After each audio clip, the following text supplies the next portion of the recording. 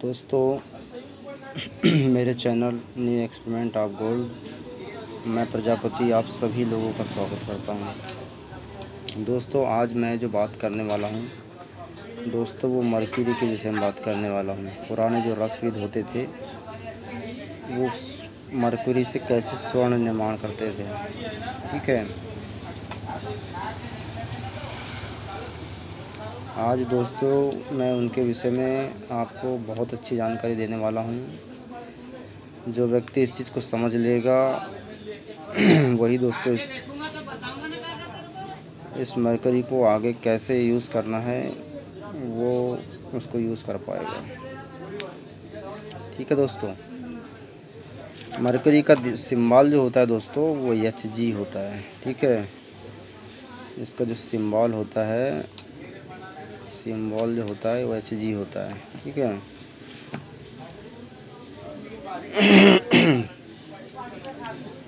दोस्तों, इसमें जब स्वर्ण निर्माण की बात आती है तो सबसे पहला जो स्टेप होता है, वो होता है मरक्यूरी मतलब मरक्यूरी को पारद भी कहते हैं। पारद शोधन। जब तक दोस्तों, पारा शोधित नहीं होगा पारा शुद्ध नहीं होगा। मरकरी को आप कहीं भी यूज़ नहीं कर सकते। इतना आप समझ लीजिए दोस्तों, ठीक है? अब आप मरकरी को शोधन कैसे करोगे, है ना? ठीक है, पहले हम इसका आपको विवरण दे देते हैं, उसके बाद फिर हम इस पर बात करते हैं, है ना? पारा शोधन पे। पहला स्टेप होता है दोस्तों इसका पारक शोधन, ठीक है? दूसरा स्टेप होता है दोस्तों इसका विभुक्षीकरण, ठीक है? विभुक्षीकरण, ठीक है? फिर दोस्तों इसका तीसरा जो स्टेप होता है, वो होता है स्वर्ण बीज निर्माण, ठीक है? स्वर्ण बीज निर्माण। ठीक है दोस्तों?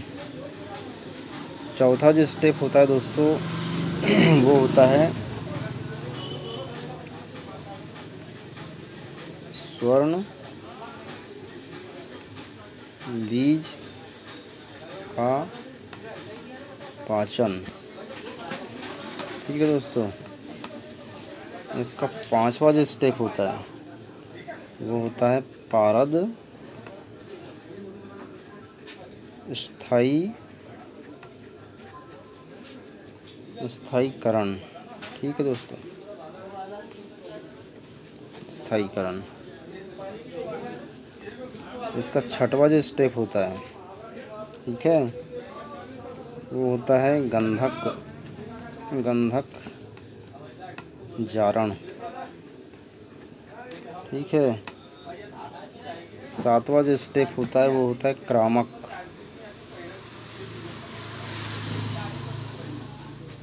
क्रामक शारण और जब इसमें ये सब प्रक्रिया हो जाती है, उसके बाद में इसमें वेद मतलब ये किसी भी धातु में वेद कर सकता है, इसमें इतनी ताकत आ जाती है कि किसी भी धातु में वेद कर सकता है। ठीक है? क्रामक और सारण गुण आने के बाद इसमें इतनी ताकत आ जाती है, किसी भी धातु में ये भेद कर सकता है, भेद कर सकता है। ठीक है दोस्तों, अब हम चर्चा करेंगे कि पारद शोधन कैसे होगा। ठीक है? इसमें तो आप वैसे इंगुल से जो निकला हुआ पारा होता है, वो सबसे बेस्ट होता है। इंगुल को मतलब जो सिंगरप होता है सिंगरप को डमरू यंत्र में रख के उसको ऊपर पारे उसमें उड़ाया जाता है, पारा ऊपर जाके लग जाता है और उसको फिर शोधित किया जाता है। ठीक है, वो पारा सबसे बेस्ट होता है दोस्तों। बहुत बेस्ट होता है वो पारा। अब अपन बात करेंगे कि पारा शोधित कैसे होगा, है ना? तो वैसे तो वेदों में पारा शोधन की बहुत सारी प्रक्रिया हैं। उनमें से जो मुझे अच्छी लगी, मैं लिए लेके आया हूँ। आपको अगर अच्छा लगता है तो आप कीजिए, अन्यथा ना कीजिए, ठीक है? वैसे दोस्तों, इसमें जो अभ्रक सत्व होता है अभ्रक सत्व से पारा पूर्ण स्थायी पूर्ण रूप से स्थायी हो जाता है। ठीक है, अभी तो हम शुरू से बात करेंगे पारत शोधन। तो पारत शोधन कैसे होगा, है ना?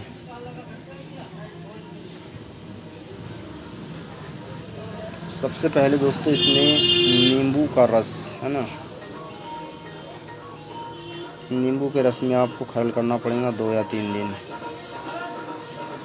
नींबू के रस में। ठीक है। उसके बाद आपको गेरू। गेरू, सेंधा नमक। दोनों को मिला के आपको तीन दिन खरल करना है। ठीक है। उसके बाद घृत कुमारी। घृत कुमारी, है ना?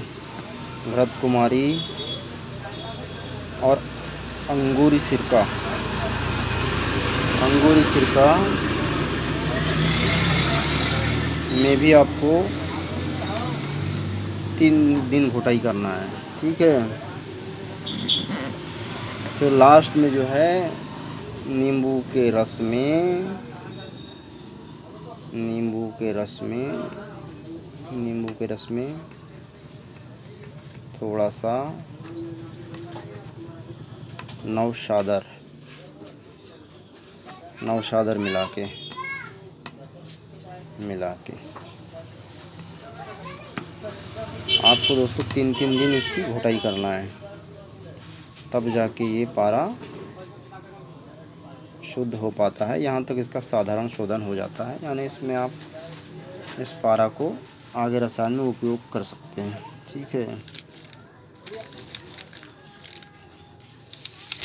अब दोस्तों, बात करेंगे पारा विभुक्षीकरण, है ना? कि पारा भूखा कैसे होगा? तो दोस्तों, इसमें काला धतूरे का बीज। काला धतूरे का बीज। का बीज चित्रक मूल चित्रक मूल से कर सकते हैं आप। इसमें सेंधा, नमक, टाइट्रिक एसिड, ये सारी चीज़ों को मिला के चार चार पाँच पाँच दिन आप घोटाई करते हो तो पारा आपका भूखा हो जाता है। या किसी तेजाबी चीज़ से या जिससे दूध निकलता हो, जैसे कनेर है, कलिहारी है वत्सनाब है। वत्सनाभ से तो खैर दूध नहीं निकलता, लेकिन ये काफ़ी जहर, जहरीली वो होती है, जहरीली जड़ी मतलब जहरीला पौधा होता है ये। इससे भी पारा बहुत भूखा हो जाता है। ठीक है। और घोटने की प्रक्रिया बहुत लंबी होती है दोस्तों। पंद्रह पंद्रह दिन घोटाई करना पड़ता है, तब जाके पारा भूखा होता है। ठीक है। यहाँ तक पारा भूखा हो जाता है। ये हो गया दोस्तों पारा शोधन और पारा विभुक्षीकरण, है ना? इसके बाद बात करेंगे अपन स्वर्ण बीज निर्माण। स्वर्ण बीज निर्माण दोस्तों, कैसे किया जाता है? है ना? स्वर्ण बीज निर्माण की बहुत लंबी प्रक्रिया होती है। स्वर्ण को भस्म रूप में लिया जाता है और सौ सौ पूर दी जाती है। दोस्तों, जब तक के खेती में हम बीज नहीं डालेंगे, तब तक फ़सल नहीं होगी। वैसे ही पारा को स्वर्ण बीज खिलाया जाता है। तब पारा आगे स्वर्ण बना, बनाने में सक्षम होता है। ठीक है दोस्तों, ये भी प्रक्रिया आपको अपन, मैं पूरा आपको लाइन से समझाऊँगा। अभी पारा शोधन और पारा विभक्षीकरण हो गया दोस्तों, ठीक है? अब स्वर्ण बीज निर्माण, स्वर्ण बीज का पाचन। और दोस्तों, स्वर्ण बीज निर्माण मतलब जब पारा को स्वर्ण बीज खिलाया जाता है तो पारा का वज़न नहीं बढ़ता दोस्तों, इसलिए इसमें एक ख़ास बात है कि पारा का वज़न नहीं बढ़ता। ठीक है दोस्तों। दोस्तों, आज के लिए इतना ही था। अब अगली वीडियो में आपको बाकी इसके बारे में समझाया जाएगा। स्वर्ण बीज निर्माण, पारद स्थायीकरण, स्वर्ण बीज पाचन, स्वर्ण बीज स्वर्ण बीज निर्माण, स्वर्ण बीज पाचन, पारद स्थायीकरण, गंधक जारण, क्रामक शारण और वेद, इनके बारे में आपको जानकारी दी जाएगी दोस्तों। ठीक है दोस्तों, आज के लिए इतना ही। धन्यवाद